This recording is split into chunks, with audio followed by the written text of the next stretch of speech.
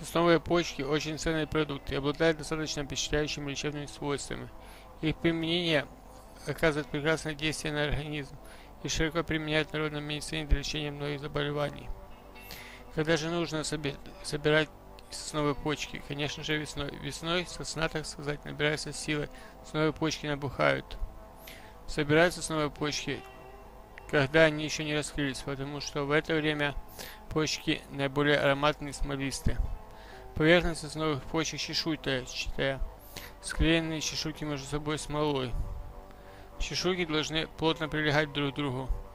Если они уже раскрылись, то такие почки не стоит собирать. Молодые почки имеют оранжево-красный вид, на изломе зеленоватого цвета. Сосновые почки лекарственные свойства.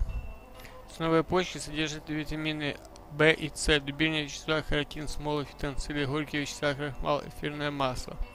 Препараты из сосновых почек обладают противовоспалительными свойствами, что позволяет применять их для уменьшения воспалительных процессов, происходящих в организме. Отхаркивающим свойствам применяют сосновые почки при кашле.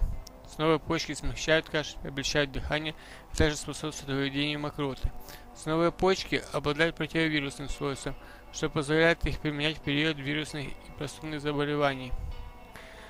Обладают сосновой почки антимикробным и дезинфицирующим лечебным свойством, присущие сосновым почкам и заживляющие свойства. Сосновые почки обладают также желчегонными и мочегонными свойствами.